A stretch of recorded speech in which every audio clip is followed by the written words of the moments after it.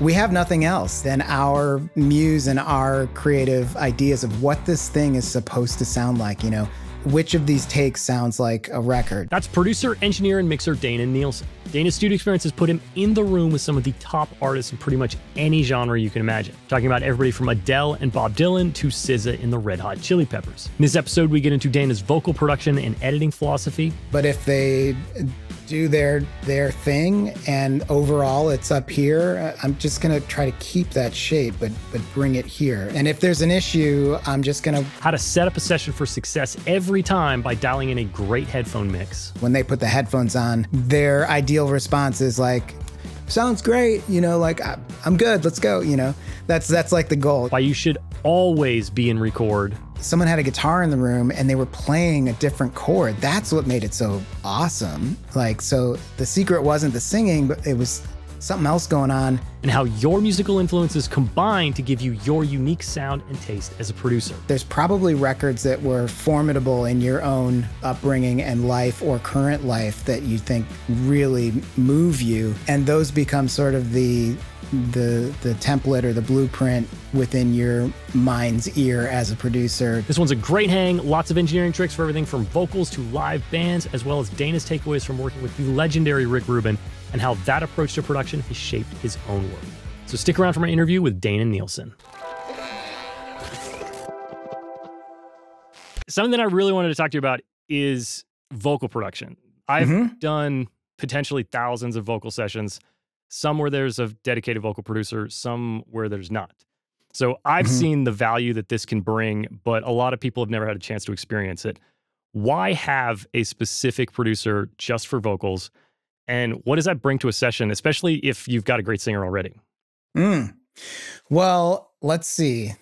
I guess there's two parts to that to that answer. One is I've never been that specific vocal producer role myself. I think I'm, I'm more a producer who loves working with vocalists.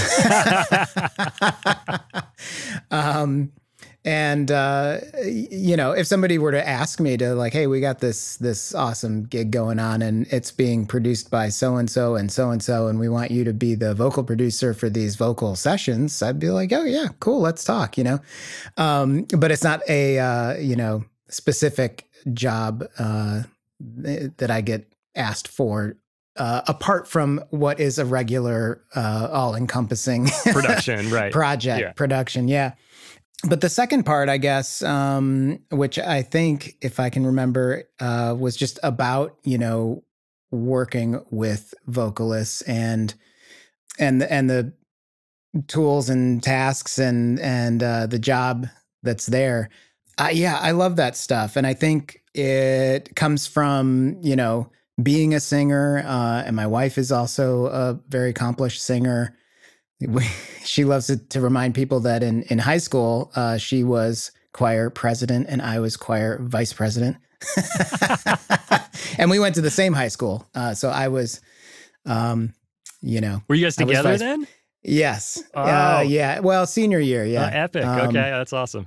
Anyway, it's I, I love it, and I uh, I will say like I'm I'm not in a session trying ever to um, you know sing too well or do anything like that. But it those skills are are super helpful to be able to um, when needed uh, as a as a sort of last resort to help uh, help a singer find a um, harmony line that works, you know, uh, and all these things, you know, as a producer, like I'm always trying to get the artist to find their own way and offer suggestions to lead them toward uh toward something. So right. that's why I say as a last resort, you know, uh, I I don't like to just get on the talk back and be like, okay, now sing this. Okay, now sing this. You know, I always want to um, uh, you know what you, I think I think it'd be awesome in this part of the chorus if it if it had a harmony or something. You know, let's try some harmony stuff there. Oh yeah, that's cool. Yeah, let's try that. Um, and then I'm always recording several passes. Like, oh, the ending, man. You know what you did there at the end of that was perfect. Like, what what else can you figure out for the beginning? You know, and in my mind all along, I I, I know exactly what I would sing. You know, but I want I want them to find it and um in part because it's it's it's them and it's their record and it's it's their expression and also they come up with stuff that isn't the thing that I have in my mind yeah. that can be incredible and I uh, would never have um, heard that if if it was just sort of a uh, here do this um, so it's really fun working with singers and I, will say the same thing really applies to working with any musician um, searching for the gold. And you know the the gold is always um, is coming from them. And and if you're doing your job right and creating a a space both physical and emotional for for them to feel free to um, try a lot of different things and and feel okay about uh, missing things or messing up, then then it really becomes uh, a job of sort of keeping track of and harvesting the the best of those little nuggets that um, that they've delivered. You know, yeah, and I, it's a lot of fun. Yeah, no, it's great. I find I'm sure you've been in this this situation. Uh, you know, you may be in a session with no producer, might be a vocalist, you know, singing working on a top line or just you know replacing something cutting cutting just a vocal sometimes the engineer becomes like a de facto vocal producer because there's maybe only you and the singer in the room and then you start yeah. you get put in that situation where the singer's like was that good? And you were like well shit i was looking at the compressor. I wasn't really paying attention. And, and uh, you know and then you you remember you're like oh, i need to you know maybe help this person through but i can't sing. And yeah. and i think the fact that you can sing every vocal producer that I've seen or engineer, really anybody that can sing who can jump in and kind of help somebody, I think brings so much value in today's world because I don't know, not, you know, not everybody can sing. It's like the most difficult instrument to to control, right? So uh, I think that's. I don't know what you mean. uh, ex- exactly. Did you ever find yourself kind of stepping into that de facto role of like, well, let's do one more take, maybe a little bit like this, or like giving any breath support you know, totally. suggestions all or, the time. Because those are the things that I think the a singer brings to the table is they can talk singer to the singer. You know what I mean? I, th- I think that that part of it has really helped me um, throughout my whole time doing this. Um, really get calls back or become more um, helpful or or valuable to whether it's to the artist directly or to the producer or you know certainly when starting out to uh, other engineers as uh, even an editor who's um, i did years and years of work um, editing before i was ever talking directly to the artist or anything like that because of that musical background and how it informs the choices um, picking the the putting together comps of vocals or drum performances or full you know rhythm section performances and understanding there's never one right answer to any of this stuff but right. you being comfortable using your own intuition and your own muse and and fandom and enjoyment of the music that's being recorded to lead you to certain decisions and uh, being confident to present them as best they can be to whoever's next uh, in the in the chain, whether it's a engineer or producer or artist. And I think that being uh, having a musical background has really really helped with that. And as far as like offering guidance for breath and phrasing and notes and harmonies, like absolutely all that stuff. I'll definitely um like I say, I always have like the the melody or harmony or, or something in mind that I think will work just in my back pocket if if needed. The other stuff, the more technical stuff, um, I'm much more ready to to share because it doesn't uh, impose any type of musical, you know, melodic information. To to say for sure, I do this all the time. You know, like you know, in the last couple of takes, you've got your breath uh, right before the punchline of the chorus, and it, it I've heard you do it previously where you made it in one breath and it's it's so much more uh, impactful that way so you know so and, and those are things that i always love to do as well in honor of the artist and their process is to play them back or reference things that they've already done that are awesome yes and to let them be their own guide toward what's working. So, um, yeah, those types of things I'll jump right in about, you know, oh, the phrasing you did on that that first pass was just killer. Let me play it back for you real quick and then we're going to do a couple more. Just try to try to do that with uh you know the same energy now you're singing it louder and more vibrant you know so bring the energy that you have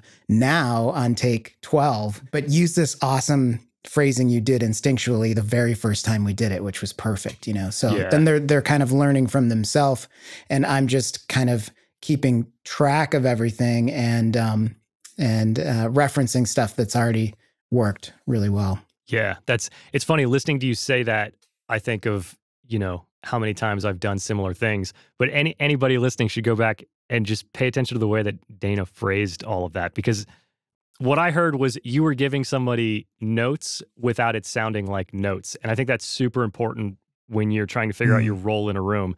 Like playing an example is is a, such a good move and I've seen people mm. do mm-hmm. that because even though you could sing that phrasing to them, that's like a little bit more of an aggressive approach. It is. You know, yeah. and you're like there's something about this pre-chorus that's cool. You know what it is, and mm-hmm. they just need to hear it. So you don't have to mm-hmm. lay it out there like that. So, you know, yeah. everybody should take note of, of the the politics behind the words that you chose when you're describing that, which is great.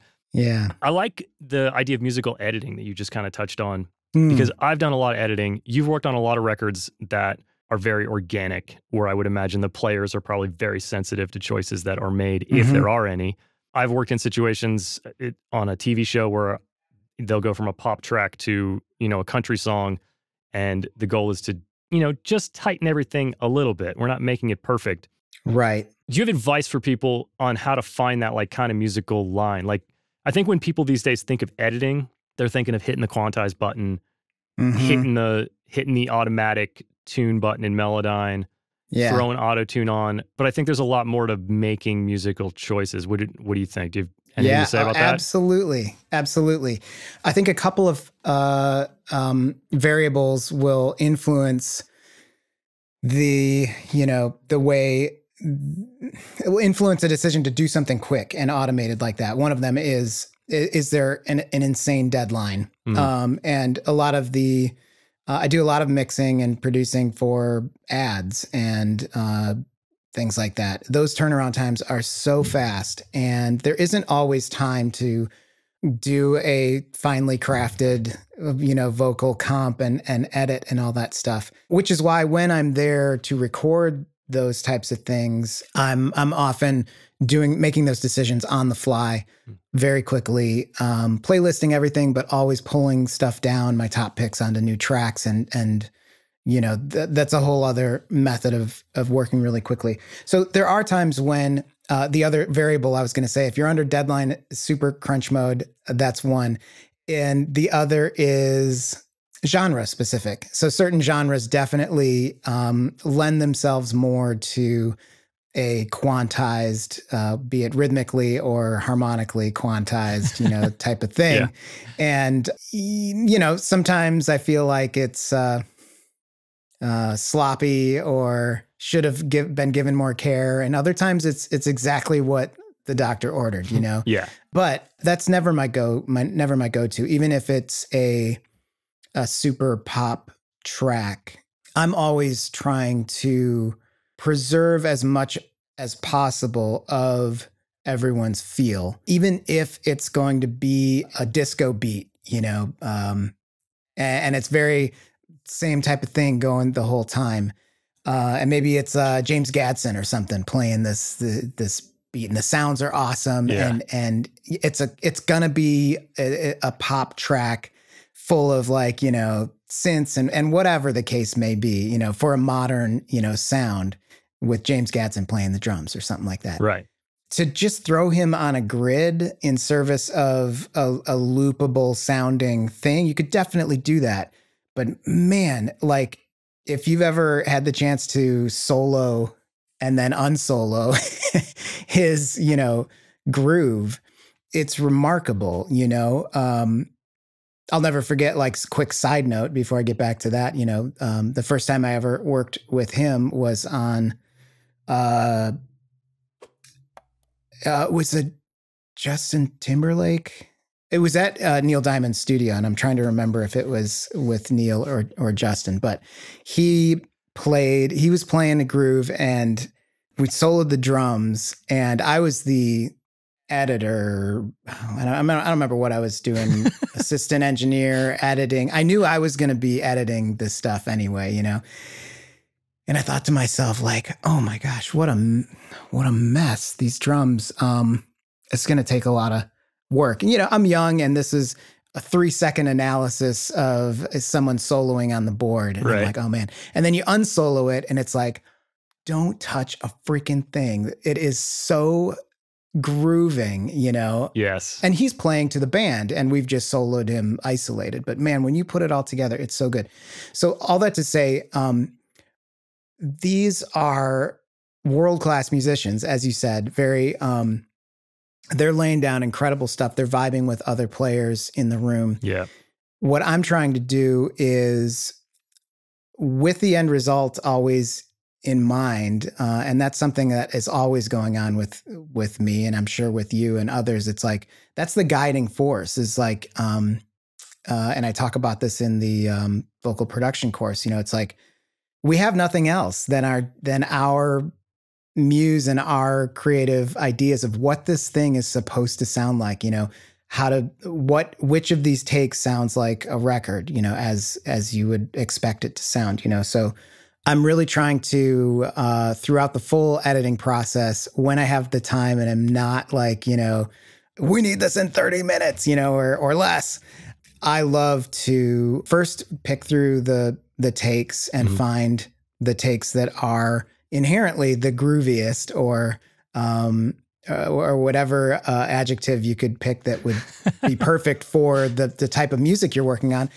and then move as little as possible, all by ear. Like yeah. I I don't ever do beat detective and and stuff like that and that's not to shame on anyone who does or that tool i do use that tool uh, all the time you know to when I'm when I'm in crunch mode or when the drummer isn't a drummer, it's actually the guitar player who hmm. needed delayed. We just needed a drum texture, you know, for for some you know thirty second uh, Eminem's cue or something like that. You know, basically just needed uh, a snare overhead.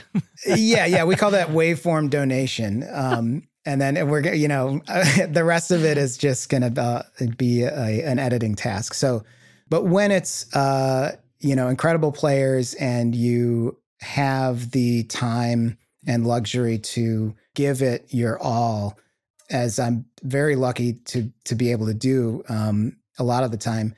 It's yeah, I want I want every every awesome record sounding moment to be not ironed out, you know, to be like preserved. All the while, you know, if the if the drummer and the bassist hit a note off or or it kind of speeds up. The pocket is still there, but it's a little ahead of where the singer put it, and then the bass player. And so I'm moving section by section and and just trying to do as little the little tuck tuck ins and touch ups to keep what they do magical. You know. Okay, somewhere some somebody's thinking this, and and I kind of inherently have an answer to it, but I'm gonna ask I'm gonna ask you. You said in there, pick every groovy, you know, moment or the, every hit record moment. A lot of that's going to come down to, I would imagine, in your opinion, taste. Like, mm-hmm. what makes something a hit record moment for you? You get a feeling, you just like that's the the best take, or you like the kind of the dirtier take. That's like what identify mm-hmm. for somebody that has never sat in that chair. What makes something a record moment? Hard, hard, hard question.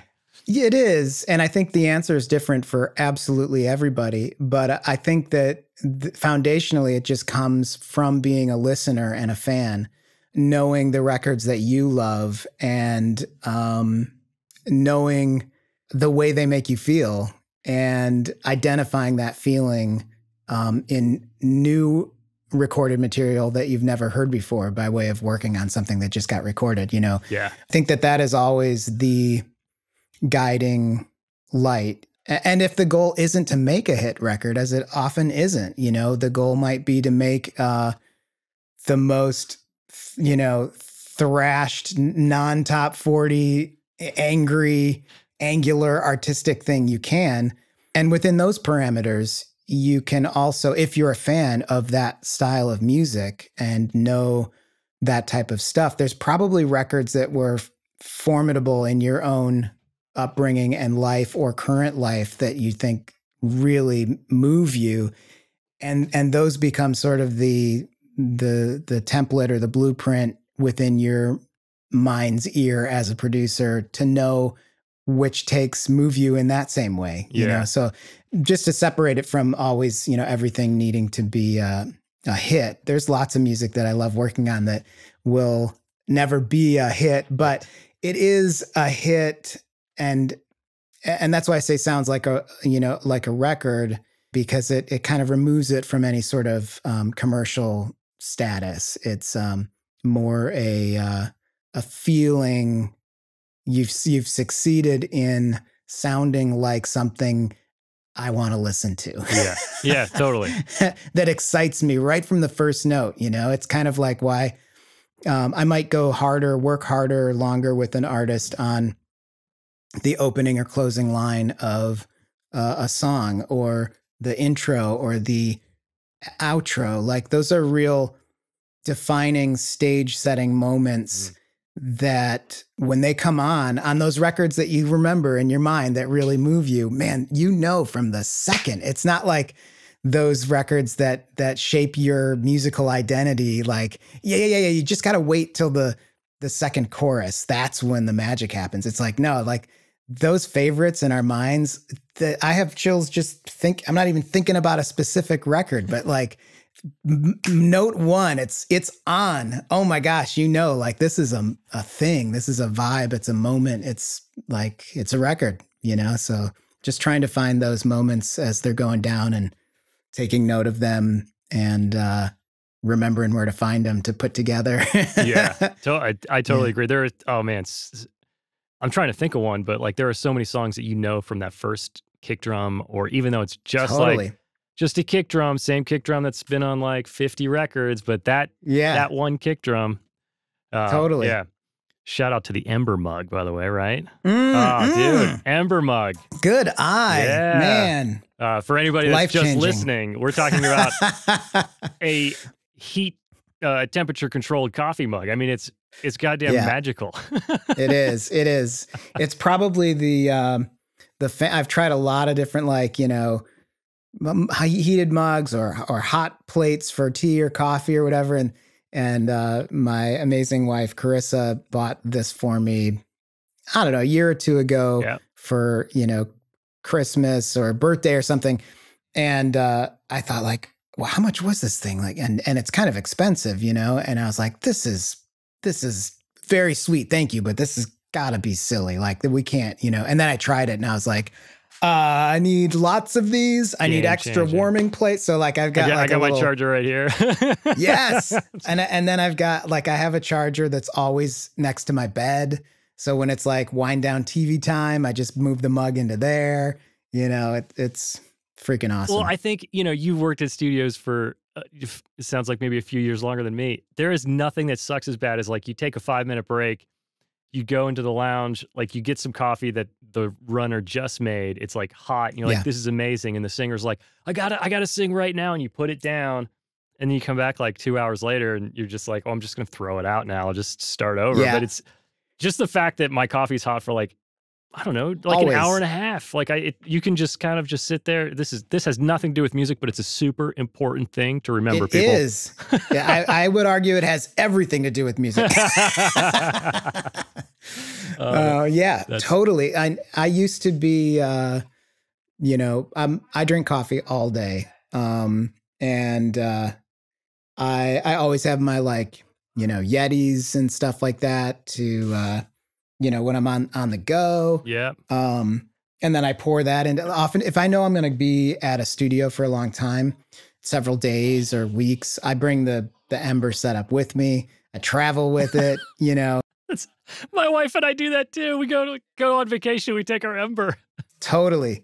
I'll bring uh, you know, um, I was just talking about this with uh, an awesome member in Mix Protege who also is super coffee uh coffeeaholic and uh we were talking about, you know, well, what what's your favorite place in Nashville for coffee? And and uh, he had just moved there, and I was like, honestly, I don't know because whenever I go work in Nashville or anywhere, I pack my my ember, I pack freshly ground beans of my choosing. I've, I've got a mini like kettle, hot water kettle. Oh, I've got a little pour over setup, and uh, like uh, just because like co- I love waking up to good coffee, and if there isn't coffee available that's good, it'll it'll you know I just have less of a pep in my step, and you know it's like I'm going to the studio to work all day. I need that pep, you know. That's right. That's right. Co- I mean, yeah, coffee in in the studio is definitely it's a thing, and there's so many engineers that I mean we're already like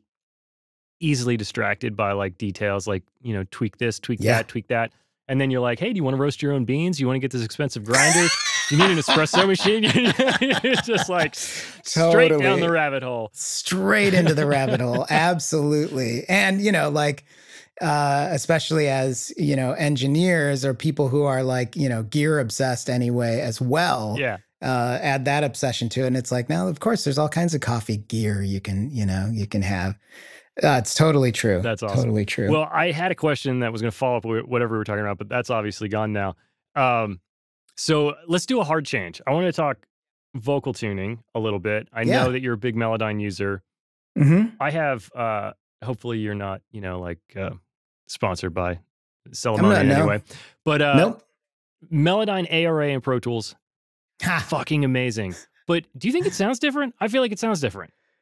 Interesting. I feel like you it's know, a little I, bit more processed, but huh. the you know the way that it's been like just being able to do that has been a lifesaver. But I don't like to do leads in it. I just feel a little sketched out. Am I crazy? What do you think? I I don't know, and I I love this question because I, I recently had a text exchange with someone else who was asking about sound quality in you know this I, I that whole side thing, I, I kind of was like, I've never heard what you're hearing, and you're in a different DAW. I don't know what the scene is over there. Yeah. But from from my experience, the ARA came out, and I'm like, about time. I cannot wait. Yeah. And I got I jumped right into it, and I loved it. I loved not having to render. I loved being able to, you know, trim or do some clip gain on a piece of audio that's in Melodyne, but you know, having like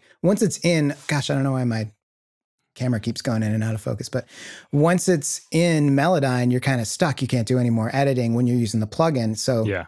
As you know, to have that ARA support is game changing to be able to just freely roam about the the clips and the Melodyne oh, and yeah. the everything. It's great. But man, I got burned twice uh, where hours and hours and hours of work just up and vanished where you open the session the next day and it's like nah we can't find the transfers of this stuff. And you know at first i was like well it's maybe my first time and it wasn't that much time that i lost and i was like that's weird. And then it happened again like on i had just i'd spent so much time editing these very tricky vocals and it, i lost it all and i was like this is crazy. Um, yeah. I cannot, I will not use this until they get this sorted out. And I maybe, I don't know. I'm not, I'm not sponsored by, by anyone. I, I, feel bad, you know, putting that out there, but they do, I don't know if it's Avid or, or Celemony or whatever, but not, not ready for me, like not ready for prime time. Uh, so I've, I've moved back to my, my regular way of the, the plugin. I have, um, Melodyne Pro or Studio. Yeah, right. Love being able to just, it's expensive. And I tell people that who are just getting into it, you know, you definitely want assistant at least. Yeah. Is that the, you need all the tools, you yeah. know, like spring for at least the assistant. And the, here's the reason why, even though it's, it is very expensive, but it's, it's what I do. So I, I do the studio and I love that you can, um, I never, I never use the standalone, but the the ability to see all your Melodyne tracks in one interface and um, that's that was a huge change in. when they did that. It's it's great. And yeah. there's one other thing in there in the studio. I can't think of what it is, but that really um, sets it is a, is a really nice benefit to have. it escapes me at the moment. But um, yeah, I totally, I totally love it, and I, I'm not sure where the hang up on the ARA portion is. I really, really want to use that, and uh, I just, I just can't yet. So all that to say, I I didn't in the short time I used it, I didn't notice really any sound differences. Yeah. I wasn't looking for any, but uh, I, I hope I hope one day soon uh, under a new release or something with promised stability, I'll I'll be able to weigh in on that. That's interesting. I luckily, knock on wood, I have not had that problem, but I do know okay, uh, one other person that lost what they were working on, and I feel yeah. like I don't know. You you know how you can convince yourself so easily, like you can mispatch a compressor and then just like turn the knob and be like, you know, a tiny bit. And you're like, mm, yeah, that sounds great. And the assistant's like, yeah, that's not on. But um, for I sure, everybody's yeah. done it. But to me, it Absolutely. feels like it gets a little bit like, uh, you know, whatever the the flatten tool is. Yeah, there's like the D vibrato and then the one that like evens it. Like, oh, that one yeah. seems mm-hmm. more aggressive. Like I like I do things with that that I used to do, and now when I do it, that's when I start to hear like like when you have a long sustained note, I start to hear a process there. But oh um, yeah. Anyway, I I've gotten in the habit of just like fixing like you know you're listening to BVs while you're mixing, and there's like obviously one side is flat. It's just so nice to be able to select that word, I know. load it into Melodyne, push I it up know. like a, you know just as far as it needs to go, and then commit it.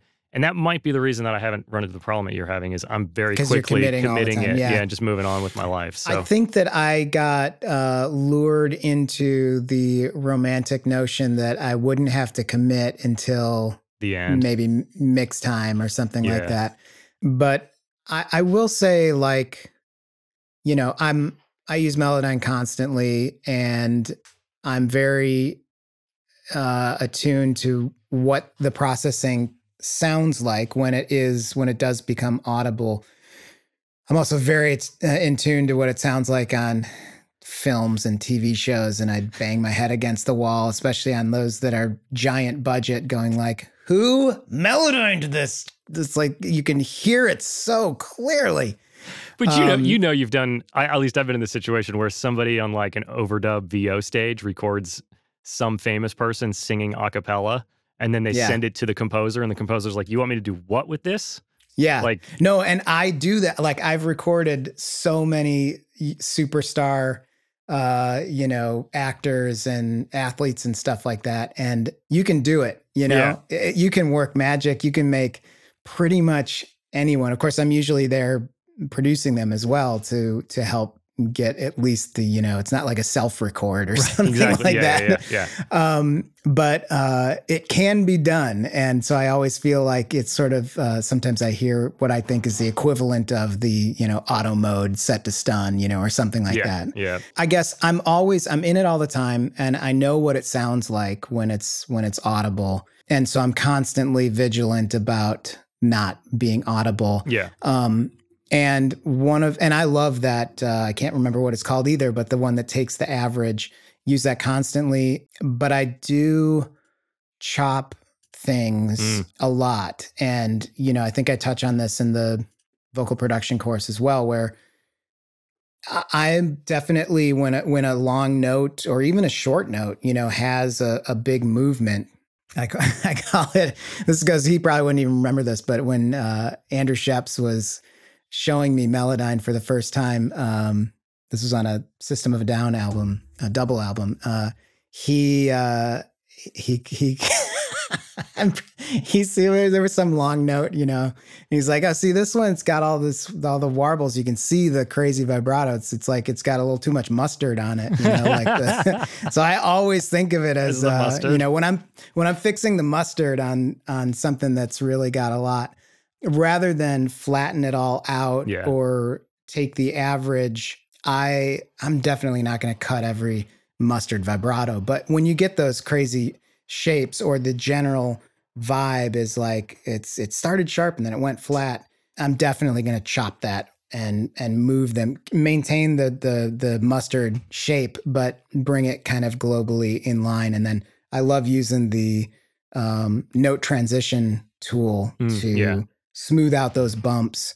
Um, that's always my first go to to to try to. I guess it, it kind of falls in line with what we are talking about with drum editing. You know, it's like I want to keep the the as much as I can that the artist sang, mm. you know, and some of those and and you can see it. You know, it's one of the wild things about working in graphic editors like that. Like you can see somebody's vocal idiosyncrasies like oh I, it's interesting. I never would have noticed it but but they always attack from above the note you know or or they always have this deep swoop on certain you know things or you know just the stuff that is who who we are. We all we all do these things. It's just it's bizarre or sur- surreal to see it but th- that's what makes them them you know and yeah. i'm i'm not there to flatten all that stuff out you know but if they do their their thing. And overall it's up here. I'm just going to try to keep that shape but but bring it here. And and if there's an issue i'm just going to chop the part that's the issue you know like my thing that i'm i never want to do is just i, ne- I never want to have it sound perfect because mm-hmm. it's it's not. And and there'll even be cases when I've I've corrected some issues to the left and the right, and now this note that I haven't even corrected sounds like it's been corrected, even though it hasn't. They just nailed that note. You know, like I might even like mess with that note a bit just because I need these to be perfect. This one's insignificant, but it for some reason is sounding tuned. You know, like oh yeah, yeah. I just I never want it to feel worked on. Um, and um, you know, there's a lot of stuff that I mentioned in the um, in that vocal production course about ways to to force yourself to be a listener and not not be looking at the screen and mm-hmm. to constantly be checking your work, you know, away from the sweet spot and with with a, you know, lyric sheet to keep track of things that you hear that are odd. And sometimes the things that I hear that are odd haven't even been worked on or you know there's little surprises you know where it's like oh i didn't it's not from me. I didn't even put that into melodyne you know yeah. and it sounds tuned you know or whatever. And then then you're like well it caught my ear so what are we going to do about it? Let's go looking through the raw takes and see if there's a better piece to put into that comp right there you yeah. uh, i was going to say it, uh, just two quick melodyne tips. One i've found tuning really quiet makes it really mm-hmm. really apparent that something is yeah. out that's that's good. And, yeah. And I like to do I like to do a pass with the music, tune it with the, you know, with the music, but then do a solo pass where you just listen down. And I find that anytime you miss, you know, maybe you've gone to a chromatic, anytime you've put something in the wrong note, it's very, very clear when you're in solo that you've gone out of scale. Yeah. And sometimes yeah. in the music, like you don't catch it in the music for some reason. And, mm-hmm. But it's mm-hmm. that solo moment where you're like, whoa, okay, that's a half step out. My bad. Sorry, guys. Yeah. but yeah. Uh, yeah. For sure. I mean, to add on to that, I would say I never tune in headphones. There's mm. there's some kind of weird acoustic, uh, you know, weirdness. yeah, that you ever you ever be like working in headphones for a while and then you you take them off and it sounds like the song's in a different key like yeah. it, there's just weird stuff that pitch wise i'm not saying music can't be enjoyed in headphones i love listening in headphones but when it comes to pitch i don't i don't really um i don't really trust it. I'll do it in a hotel room or something if i have to you know but yeah it's definitely less than less than ideal i agree with that i agree. Yeah. Since you said headphones i know you've you know you've recorded a lot of bands you've recorded a lot of singers something that i haven't somehow not really talked about on this show is how important a headphone mix is. I mean, especially for oh, singers, gosh. right? What, yeah. Do you have any thoughts on just like how do you approach a band session versus a singer? Do you give singer con- singers control, or do you give them what you want so you can kind of help them out?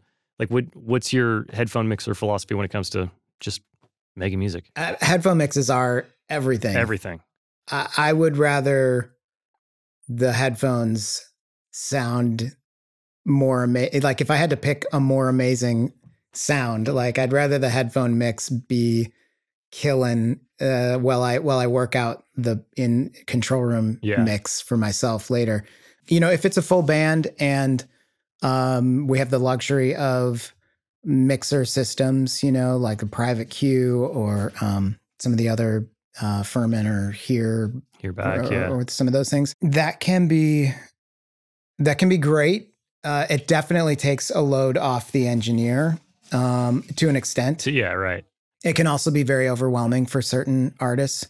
Um, so when when using a system like that, uh, I'm always uh, and with the you know house staff or assistants um, are on this as well, constantly throughout the day or first thing in the day, making sure that that those are set nicely. And I talk to the artists and every one of the um, uh, every one of the musicians as well, band members or studio players or whatever, before you know giving them the headphones. You know, just a quick conversation. You, you know these things? Have you used this thing before? You know, yeah. I'm sure you have. You know, but here's kind of I like to set you know set the master like around noon or two o'clock, you know, it, it will go super loud, you know. So like here's kind of how I do it. Cause that way then you've got a little headroom to, you know, some play to give yourself some more overall volume. And then just kind of and I'll, I'll, do it too. I love the private cues, and and they all have this. I think where I can I can have my own headphones as I'm showing them this, and I'm building the mix for us, you know. And so I always kind of give them a starter, make sure they understand where everything is. Everything is labeled really clear, and then unless there's an issue, I won't really I won't mess with their settings because yeah. they're going to make themselves at home and get something that works for them. Um, and until I hear that, you know, hey, I can't, I'm all the way up I'm blah blah blah, and I can't get more. You know. Oh yeah. Let's run out there. Oh, I see what happened. You know, you turned your master fader down and everything's cranked. So I'm going to turn all these down and I'll just walk them through it again right there with my headphones. There might be a million things going on. I'm doing this really fast. Like, I got you. I got you. Here's what happened. We'll bring this back. I'm going to bring this up. Is this cool? You like, you like, you know, and, and I'm, I'm not doing it blind or, or deaf as, as the case may be, you know, like I'm doing it listening and quickly putting it together something that I think sounds good. So, you know, those systems are great once people know how to set themselves up. Yeah. And uh, so the caveat being like, I always pre-mix all those boxes to uh, a way, and I'll sit at every location and listen and set up a mix that I think they'll dig. So when they put the headphones on, their ideal response is like, oh, here, let me show you this mixer. And like, oh, I mean, it sounds sounds great you know like i'm good let's go you know that's that's like the goal you know yep yep and if that works out, then it's really, of course, it becomes really handy because it takes some uh, work off of um, me as an engineer to chase every player's individual requests. And if there's a lot of players, that can be a lot of requests. Yeah. So the other side of that, which is probably much more applicable to the majority of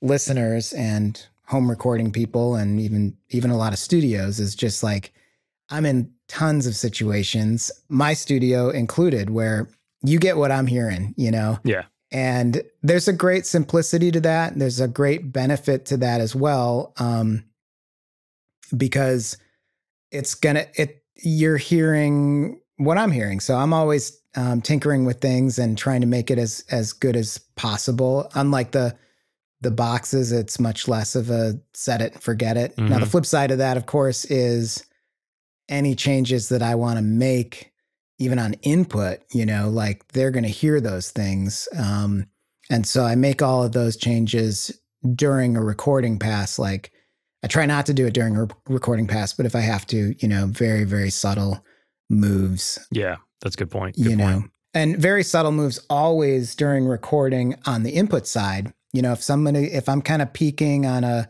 getting a lot, too many overs on, you know, let's say, uh, the the wow the singer's really singing a lot louder than that first pass you know and we're in a recorded take. I'm going to find a you know a fully either a fully variable fader on the output of the mic pre or or something like that or if there's only detented options i'll pick a spot where they're taking a breath and i've heard this part before and i'll click it down real fast in a moment that won't ruin the recording. But even if you're not recording and and they're just and you're making changes to what they're listening to the rhythm section track that's pre-recorded and we're in overdub land it's very easy for me to um, yes i've got an ear on what they're singing and everything uh, but like you know the bass should be louder and like uh oh, I forgot the percussion's muted. You know, like yeah. don't do any of that stuff, or certainly don't turn on percussion when they're in the middle of, uh, you know, uh, a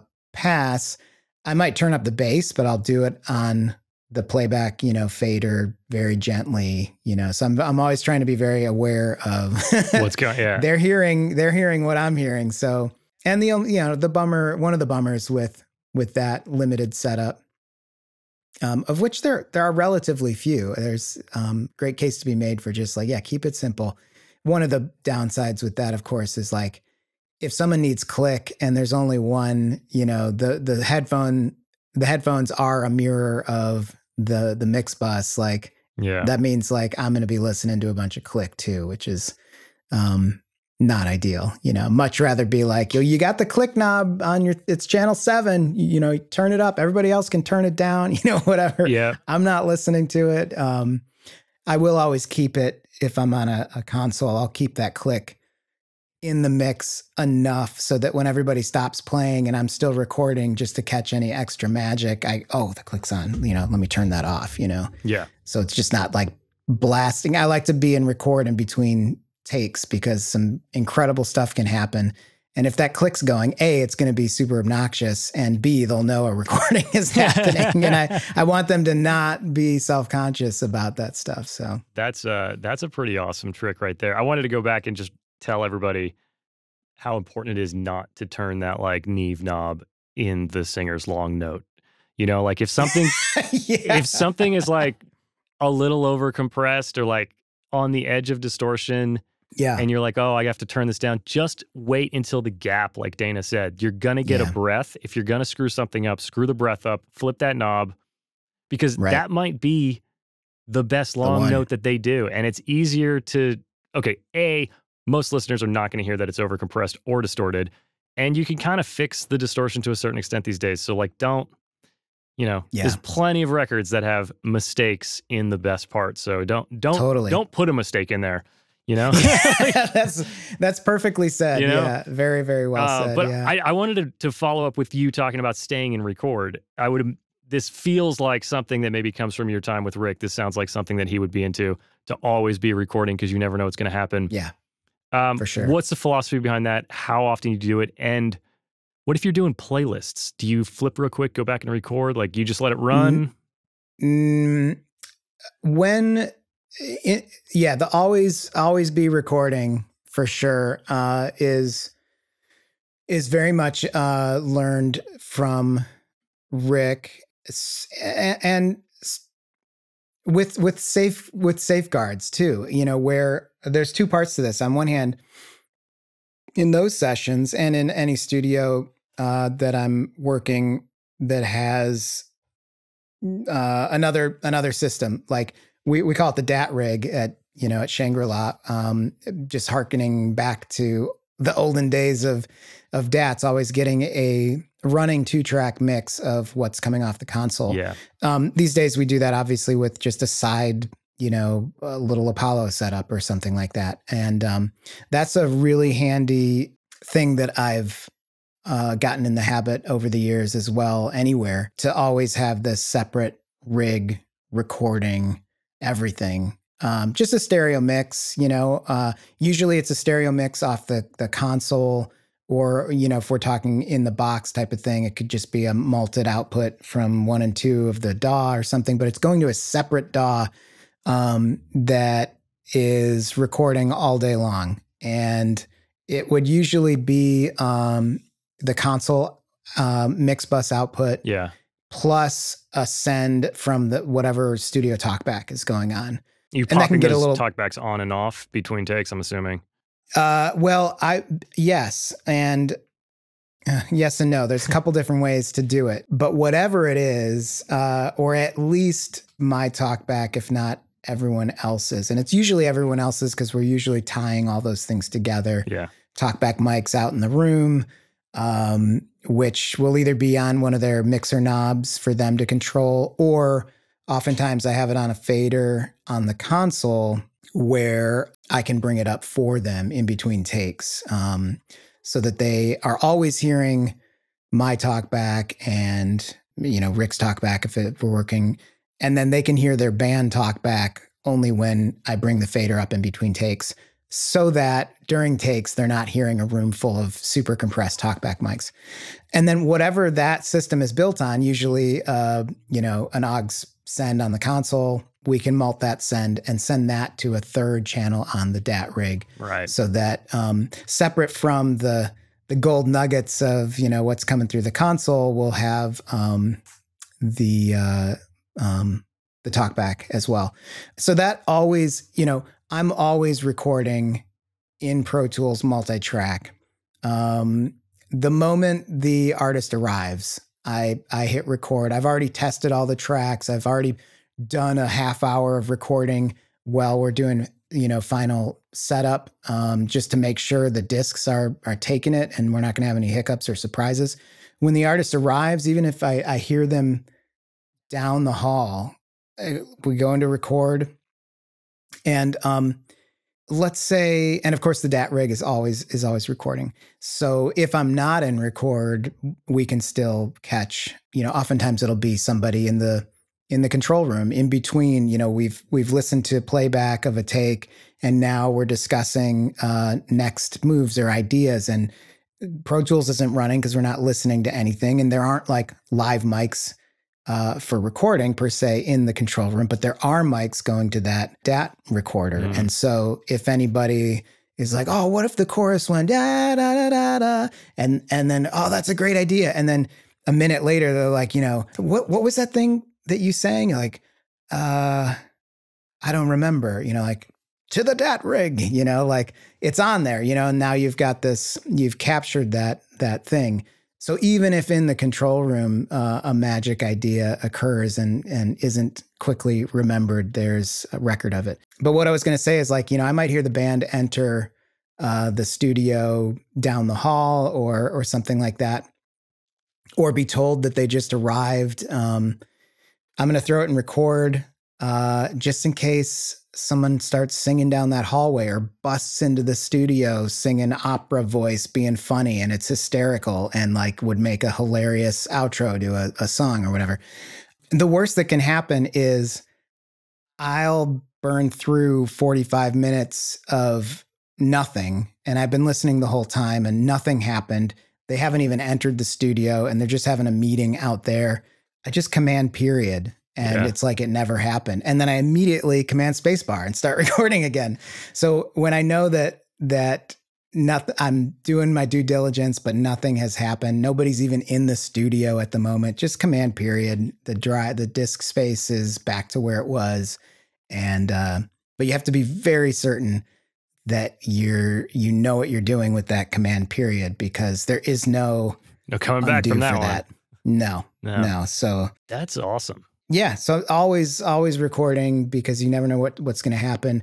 Also, too, if there's nothing going on and the band isn't even in the room, but I need to go to the bathroom, I'm in record, and I'll just you know make eyes with the assistant like you know I'm I'm rolling. Just step over if anything happens, you know, and then I come back and anything happened. Now they're still outside. You know, okay, command period. You know, whatever. Yeah, yeah. Um, that's that's amazing. Has uh to your recollection, has anything ever come off that DAT rig that got released or or added to anything? Uh, I'm sure. I'm sure. Um, more often, um, well, two things. More often, I'm also catching it on the main Pro rig. Tools, right? On the main rig, uh, and in that sense, yeah, tons of stuff. Um, yeah. But what the DAT rig is more often helpful for are just referencing an idea that was fleeting that just somebody just needs a refresher of yeah or and this happens so often too where it's like I, well, no, I remember what I sang, you know, or the or speaking as if I were the the artist or the band or something, um, or maybe it was any, even an idea that that I threw out there or something. But and I'll try to recreate it, but it's just not there was something about the way it went down and then you you you can go back and listen and it's like oh yeah i'm singing exactly what i sang but i didn't realize that someone had a guitar in the room and they were playing a different chord that's what made it so awesome yeah like so the secret wasn't the singing but it was something else going on in the room and they weren't even in the room with us. These mics were picking up somebody tinkering on the piano out there. So just like just kind of like it's like ghost hunting, you know. Yeah, yeah, yeah. just got to be be ready, uh, ready. Better have that that uh, EKG or whatever it's called yeah. rolling, you know, to catch the the spooky stuff. That, you know, that's amazing. Well, uh, since we're kind of kind of on the topic, I wanted to ask you a question about working with Rick.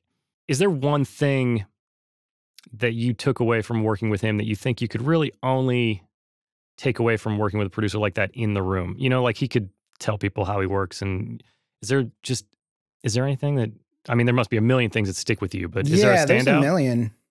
Um I think um I mean so so, so many. many. um just um I'd say just the seeing um the way he works with with people and runs the session, you know, including myself and my services and everybody else on staff and it's it's all an extension of of him and his style. Yeah. And seeing him diffuse, you know, so many um worried artists or um seeing him encourage ideas, you know, being uh just watching that interaction has been just a incredible experience for um, all the all the many years that we've worked on stuff together. It's just always a treat, you know, when I um, when I see other people in sessions getting really angry or um, yeah. it, it, just it's not it's not part of his world, you know. Um, to to be to be volatile or yeah. or angry like that. And and certainly art, you know, everybody's different, and artists have, bring their whole um, situation to a, a recording, and recording in general can be very nerve wracking under the microscope, or you know, you want to do your best and all that. He's just very um, encouraging and relaxing, and uh, a, a great listener both to music and to the ideas and concerns of the artist. That's really uh, it's it's wonderful. Yeah, it's been it's been awesome to watch. Yeah, I, I mean, I can't imagine. I've, I've I've never met Rick, yet alone worked with him. But I think a lot of people today, you know, they think about production. Production's now like it's a so much about the technicalities and making everything. And it's like, oh yeah, you you're not really killing that guitar part. Let me, let me get that guitar. I'll play it for you. There's so much of that that I think people forget that like you know, making art is about people. And when you have like mm-hmm. producers like Rick or some of the classic producers, that old school mentality of like, I'm not going to play any music. I'm just going to guide these people where yeah. I think they should go. I think that's just like, I don't know, maybe it's because yeah. I'm getting older, but to me, that's just like so, like, I, I would love to get to that point, but like you're talking about people that are on this other level of like emotional understanding and and so, yeah, yeah. I'm sure that was a, it was a trip to get to work with him regularly. So that's uh, that's great. Yeah, it uh, yeah, it's uh, he's amazing. I have nothing but love and total respect, and uh, and and thankful to um, be taken along for so many rides like that. And I know exactly what you're saying. You know, the the word producer or the meaning of it as it relates to music has really changed or maybe split into a mm. couple of different um, meanings. Yeah. And I, I, think a lot about that stuff. Um, not just to be um, philosophical about it, but really as it relates to work that I do and explaining roles uh, to what what I can bring wearing different hats to an artist project. Lately, I've been thinking a lot about like maybe it's like yeah, these two different forks. There's um, songwriter producers and there's record producers mm. and uh, and I mean that in the literal like uh, copyright uh, sense, right. not not in any sort of hierarchical. Um, I like that name better, you know. But I mean, literally, like you know, there are a lot of producers who I think um, are songwriters, uh, and and and all of the above are working towards uh, the record, the sound recording is is what I mean by that. Yeah, you know? yeah. But there are certainly a lot of um, producers who excel at the songwriting part. Mm-hmm. And producer has become, I think, through um, especially sort of R&B hip hop beat making culture, the de facto name for someone who writes songs in that genre and yeah. um, also puts puts the sounds together in in a sound recording. But I think that that's sometimes confusing about the more traditional record producer who is maybe not less of a songwriter or perhaps is but doesn't uh, isn't there for that role. Yeah. Someone who who likes to work with songwriters to create the best sound recording, the best record possible for that moment for that song, which for which there might be dozens of different records uh, serving that song. And um, my dream has always, even though I am a, a musician, I do a lot of writing and co-writing. My my real like main love is record producing, record making, yeah. working, w- being being uh, helpful in an overall guidance type of way for a project that uh, you know might have various writers and and songwriter producers involved. Yeah, yeah. But it's a it's a tricky one. You know, it, it, to your point, it, it's really the terminology changes and um, can be hard to understand or dissect or explain to others and i'm not sure that my answer is the right answer it's just kind of what i how i've been thinking about it yeah lately yeah well i think it all it really it depends a lot on the artist you know you think about you're maybe there's a great singer who doesn't really write they're just looking for great songs yeah versus you know a band that's been together for 30 years that they have a thing and they're just like looking for a different flavor there's yeah. two different types of producers that are going to take on those situations, you know, and that's just yeah, very true. You know, it's a different job. Those are two different jobs. Not mm-hmm. to say one, there's not a person out there that can do both of them, but you're going to put yep. a different hat on to yeah. to do those two. So yeah, well said. Yeah, for sure. Okay, before we go, we were just talking about like, you know, the most human of human producers. Now let's talk about like the least human thing possible. Mm, good segue. Uh, yeah, AI, right? Um, so I was thinking about this. We chatted about it before we started. I don't really have a question here, but I feel like, you know, AI is coming to every industry. I think it's mm-hmm. going to be a little bit slower to come to music, but it's going to be here one day. And I think it's going to affect who works and who doesn't. What do you think is going to make a person, whether they're an engineer, a mixer, or producer, still valuable as these AI tools come? You know? Yeah, it's a it's a total relevant um heavy question that everybody's thinking of in every single industry.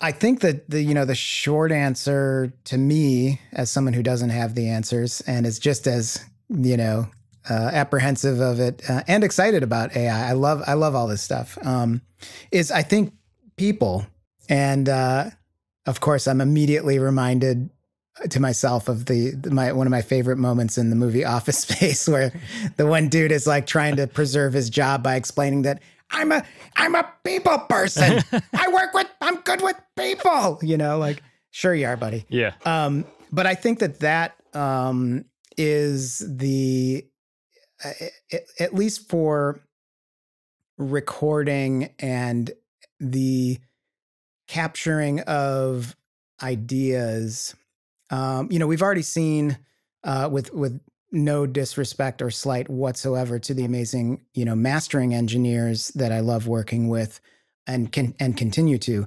But there is a, a field that uh, uh, the companies are and have been for a while aggressively pursuing as a sort of automated thing, yeah. with limited results. Uh, again, I think much like our beat detective uh, sort of uh, chat, it's it's maybe kind of a similar thing. If you're in, in a low budget time crunch, there's some pretty neat tools out there. But yeah.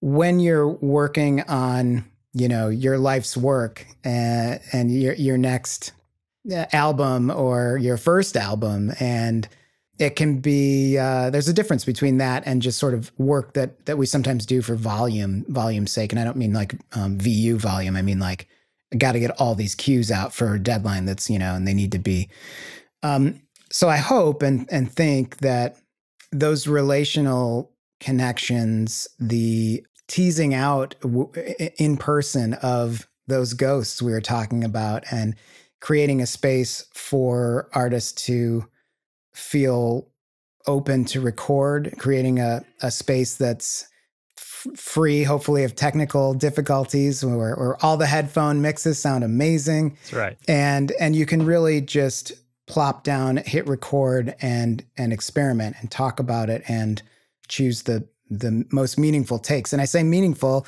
trying to think of like, well, how would a computer choose the best takes, you know? And as we've already discussed, there is a difference between, you know, perfection and intonation and rhythm Mhm. and Yeah. what moves you um uh you know emotionally you know certainly some ai could uh, and and probably already has uh, dissected the you know entire history of the billboard you know catalog to see what what these things have in common or whatnot but um i mean i have to think that it's making records is a lot of fun Yeah. um, for all its vulnerabilities and uh, technical difficulties and long hours and whatever. But but it is fun and it's uh, it's it's an amazing way to connect with other people, uh, just kind of by nature of what it is. And um, so I hope that those qualities will uh, give it some longevity. Uh, and all the while, you know, like I say, I'm I love technology and I'm excited in my own way about these um, all the cool AI stuff that's that's happening. So I I try not to be too uh, you know Salem witch trials about this stuff. like, I, I, I agree. I agree. Yeah. you know, It's it's actually funny listening to you talk about it. I think what we were just talking about with that old school classic producer, people like Rick, that are very in touch with the human aspect. I feel like that's the thing that you're never you're never going to lose. And maybe AI will actually be a little bit freeing for like the producer engineer that wants to not have to focus so much on those technicals and can start to play that more human role. Um, Mhm. You know what I mean? Like maybe it'll actually allow everybody to be part of that emotional, artistic Mm. conversation and not have to worry about exactly what's going on with this or that. And Yeah. we'll, we'll have our AI headphone mixer assistant, yeah, you know, and get the, cof- very- the coffee runner. But very cool uh, take on or prediction. That's really interesting. Yeah, in worst case, you and I Um, can start an AI headphone mixer company. Good. there. I mean, So why not? stamp the TM right That's on right. there. That's right. Ideas taken, people. It's taken. That's right. Uh, Back off. Uh, awesome, dude. This has been a lot of fun. Let me hit you with the last questions because I know you're mixing like 10,000 projects. Um, Yeah. And you got to get to work, and you've got a kid, and I've got a kid. We got a lot of stuff going on. oh yeah. Um, so I don't know how much you've listened to the show, but the first question I, I like to close with is Was there a time in your career where you chose to redefine what success meant to you? Every day, man. Every day. It's a true, it's a true answer. Um, yeah, you know, it's something that uh, is considered almost daily or reminded. Um, I, um, I think you know, uh, probably an answer you've heard a lot is just, uh, you know, being able to do any of this is a, a real gift. You know, to be able to work in the music industry in a in a town like LA where so much has happened and to kind of um, rub shoulders with awesome people, whether they're famous or just awesome because they're awesome, is really remarkable. Um, when let's see, did I when I changed what it means? That's a great. It's a great question. Um, It's a thinker. it is a thinker. Um, you know, there's probably age and fatherhood and things like that uh, redefine certain things or prioritize different things. Yeah. Um, COVID certainly changed and reprioritized different things. Um, I think for me, it's just always been um, the the surroundings are are constantly changing. Uh, but I think that my my my idea of success has fairly remained unchanged in just that if I can just keep doing this thing, you know, Yeah. uh, this thing that I, I get to do professionally for money is also this thing that I just can't get enough of anyway. Like I love it. I've just always been just enamored by music and the uh, so that's that's always the the the goal the su- the success goal is just to like just hang on a little longer man I mean, it's you know, it it feels good to get to you know work in your passion and have that be your job, and you know, we we're all yeah we all feel fortunate and lucky. So yeah yeah for Um, sure And the last question I've got for you before I let you get back to work. What is your current biggest goal and what is the next smallest step you're going to take to go towards it? oh man i've been spending a lot of time uh thinking about that i think that you know the aside from you know some fantastic projects that i'm in the midst of that i'm uh my next step being just uh working on the mixes and getting them out i think the um the next you know biggest goal has been this platform the mix protege stuff. Making courses um has been something that's been a goal for a while um and is is has been happening and that's really really neat. I've always loved teaching. Uh, that's always been a part of my my life.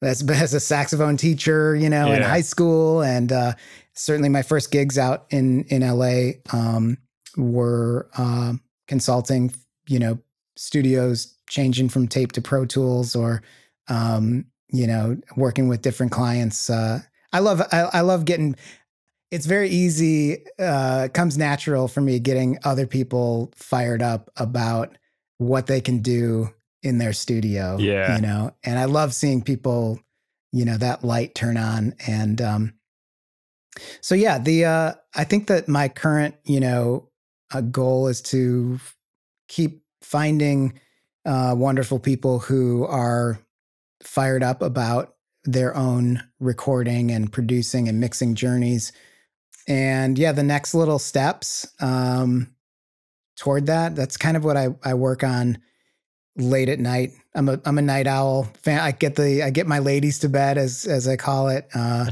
my wife and my daughter. And um and then i spend you know countless hours uh um working in the living room just on the laptop you know Yeah. figuring out what the next um how to bring how to bring value to the folks who are um in that mix protege platform um That's awesome. which this is probably one of the you know earlier mentions of it it's something that i've been doing um, for my assistants um, for a while to train my mix uh, prep setup um, so that i'm not always doing that in person and it's i'm now like the vocal production class is in there now and i've got forums and i'm doing like live mixing you know or Very when I'm working with an artist who's agreed to it. Um, uh, can I can I live stream some of what I'm working on on your project to my uh, mix protege crew? So just really trying to keep them stoked and uh, be a, a helpful source for people who are trying to up their game. Cool, man. That's awesome. That's awesome. Well, Yeah. uh, before we go, let people know where they can find you if they want to work together, if they want to learn more about Mix Protege, whatever Yeah. you got, you should throw it out there. Cool. My website is dananielsen.com. Uh, last name is N I E L S E N. And uh, that's where people can, you know, um, I've got a little form to uh, start a project inquiry if you want me to uh, kind of the do it for you services of producing, mixing, uh, engineering, um, et cetera. And then if you want to learn with me and hang out uh, as part of the community, um, that's mixprotege.com. And uh, uh, love to love to uh, say hi. Come say hi. Shoot me a message or uh, sign up for free or send me your project inquiry on my on my site. And Nice. um, I've got openings in in 2044. no, I'm teasing. I, I'm I'd love to hear from uh, anybody, and That's part of what's fun about you know. Honestly, lastly, that's part of the mix protege thing. It's like I get a lot of incredible requests. I love working with independent artists. Uh, I I love helping them release and do all that stuff, and I get a lot of requests on uh, DanaNielsen.com. Uh, and there's so many times when I, I just don't have the bandwidth. But if you're doing it yourself, come hang out over here. I'm in there, you know, every day. Um, checking in on on forums and stuff like that, learning learning together.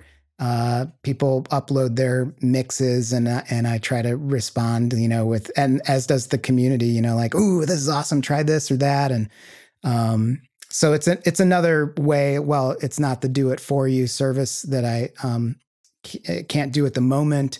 It's at least a way to to stay connected and share some ideas, and um, it's a nice uh, alternative to offer people when when times are busy. That's cool, man. That's awesome. Well, this has been awesome. this has been a great hang. We'll we'll have to get some coffee or or something. Yes, with, with our embers. Yeah, we'll bring our embers somewhere oh, in LA. I love it. And make I them fill it, up. it. Let's do that. That would be perfect. And then and then we should film it and tag Ember. Done. Ember, we are accepting sponsorships, mix protege, protege right. and progressions. We're we're open. Yes and we need you know seed money for the AI, uh, AI headphone company. That's right. So. Oh, yeah. So any any VC investors, we're open to that as well, as long as you also have an Ember. So that's right. Cool. Awesome, man. Synergy. This has been That's it for this week's episode of Progressions. Thank you so much for watching or listening. Be sure to check out all the links and resources mentioned in the episode down below in the video description or in your podcast show notes. If you're listening to this as an audio podcast, please leave a review on Apple or Spotify. It helps the show so much. And if you're watching on YouTube, feel free to drop any thoughts or questions about the episode down below. Let's keep the conversation going. For those of you watching, you'll be getting a link to another episode you might enjoy popping up somewhere right about now. And for those of you listening, check out the YouTube. Hit that subscribe button if you haven't already, and I will see y'all next time.